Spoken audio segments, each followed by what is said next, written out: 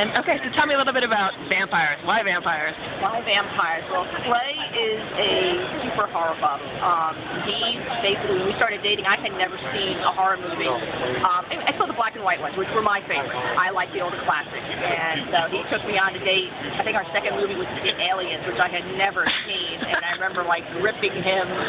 Uh, I left bruises on his arm, but um, after that, I got I, I liked the thrill of it, and so after that, we became.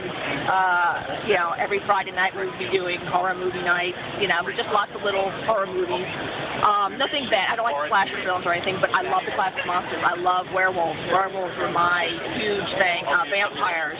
Uh, but I like the classics. I love the old black and white. Um, Bela Lugosi, Peter Cushing, those, you know, Christopher Lee. I loved all those, and so we got to watch a lot of those. And uh, Clay you know, led me through the whole process, and so it became a, a, an infatuation, something that we always always talked about, um, and that became one of the ideas. We drew that out after we had uh, we got married in Edinburgh, Oh, Scotland, and uh, where Greyfriar takes place. And so as we were there, looking at the city, we decided this would be a great setting uh, to set the book. So that's where that came from. And then he's going, you know, wouldn't it be great if there were vampires who lived here? And after that, it just it just took off. So that's where the idea came from, and from his love, and I love pulp, and so, and I like a little bit of the romance. Yeah, nothing huge, but just enough to just sort of bring the characters into some some 3D dimension, and that's where you know Greyfriar came from.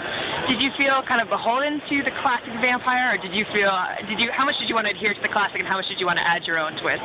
Well, we wanted to um, definitely pay homage to the classic, but we also wanted to do something different because it's a genre that's done so much. Um, so we wanted to do. Um, Clay was you know adamant about bringing something new to the to the, to page, and so we decided to do the parasite, the uh, you know that, that they're not dead, that they're basically another species. Um, and that once we started talking about that, it sort of blossomed into let's you know how what kind of myths can we change and what you know what can be explained scientifically, and um, and that worked. I mean, we we were kind of surprised that you know that there was so much little bit that we could play with in that regard. So.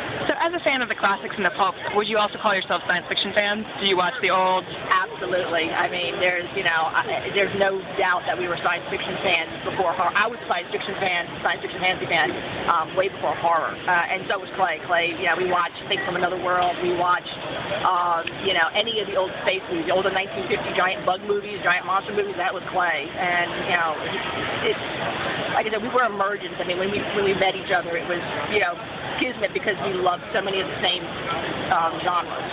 Um, and so we kind of just, it was easy to merge. I mean, there was a couple that I liked a lot more than he and, and a lot that he loved. And we just started, you know, playing with them. We both loved Pulp. We both grew up on Pulp. Um, I lived next to Maxwell Grant, who was the author of Shadow.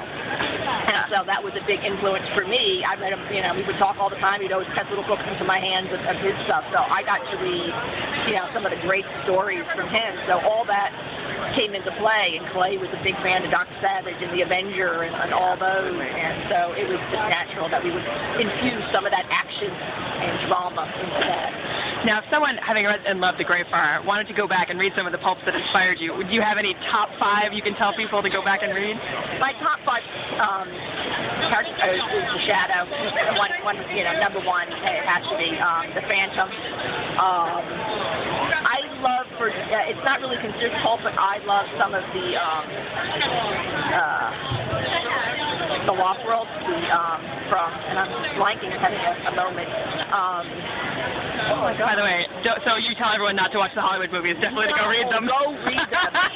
One. The Lost World is hilarious. I'm sorry, I got more enjoyment out of reading those books than the dialogue. The dialogue, especially, was so crisp in the Lost World, and all the Challenger stories. I never read Sherlock Holmes stuff. Oh, wow. Because I was infatuated with the, the Lost World characters. I loved Watson. I loved Challenger. I loved Malone. The movies, the TV shows. Uh, I know it's like the Shadow movie. Did you see that? Oh, it was a cringe. but you know, it was the only Shadow movie, so you know, except for the old pulp. I mean, I listened to every radio show. That's where my love came from. Is those old radio shows, and I used to listen to those. I still have some, you know, cassettes and stuff, and those are great. But you know, the Phantom, the, the Shadow, Doctor Savage, The Avenger. Uh, we just did some short stories for The Avenger about a couple of years ago, and there was so much. We wrote stories for The Phantom, and I was just like so thrilled that we got some of those great pulp stuff, uh, pulp characters out there. So, That's fantastic. So tell us a little bit about Greyfriar 2 coming out soon.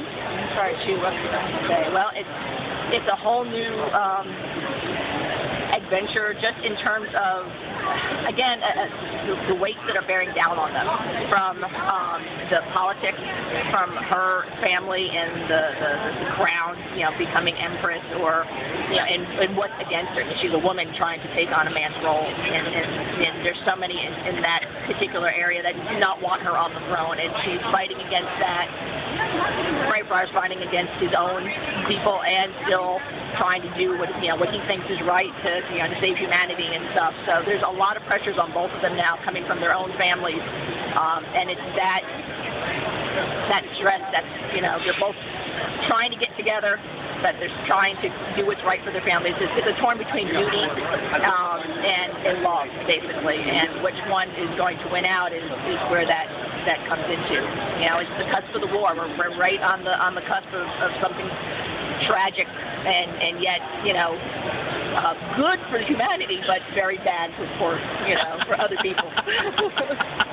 now, last question. Because we are a BEA, is there any book you're going to run around and snap up that you're dying to read? Oh my gosh! Uh, sadly, there's I mean there's so many on this wall right here I know. at the Pyr booth that I'm trying to read. Um, so there's a lot of, uh, of of possibilities here.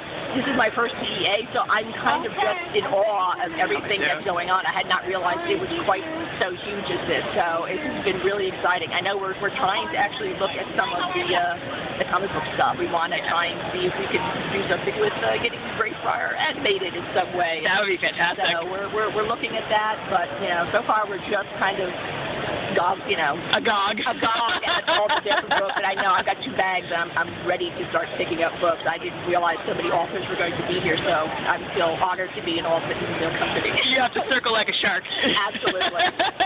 Or a pilot fish just latched on. Absolutely. Well, thank you very much for taking the time, and uh, Absolutely. I'll see you at your signing. Oh, please. Thank you.